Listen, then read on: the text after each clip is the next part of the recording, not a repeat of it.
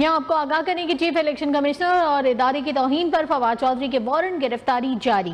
Member Nisar Durrani की सरबराही में चार रुकनी कमीशन ने फैसला सुना दिया। तोहिन इलेक्शन कमीशन केस की समात सात अगस्त तक मुलतवी। चीफ इलेक्शन कमिश्नर और इदारे की तोहन पर फवाद चौधरी के वारंट गिरफ्तारी जारी हो गए। मेंबर निसार दुरानी की सरबराही में चार रुकनी कमीशन ने फैसला सुनाया। तोहिन इलेक्शन कमीशन केस की समात सात अगस्त तक के लिए मुलतवी कर दी गई है।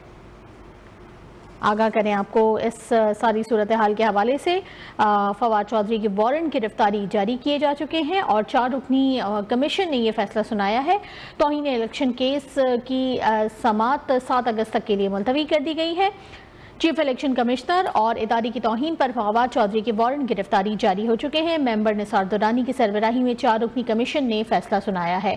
तोहन इलेक्शन कमीशन केस की समात सात अगस्त तक के लिए मुलतवी कर दी गई है। चीफ इलेक्शन कमिश्नर और इदारे की तोहन पर फवाद चौधरी के वारंट गिरफ्तारी जारी किए गए हैं।